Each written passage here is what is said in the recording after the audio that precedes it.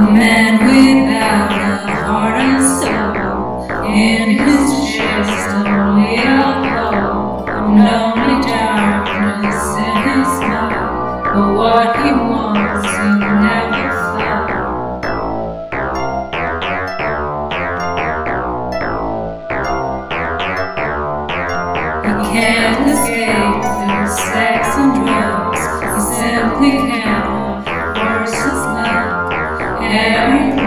Pleasure comes with costs, and everybody knows he's loved.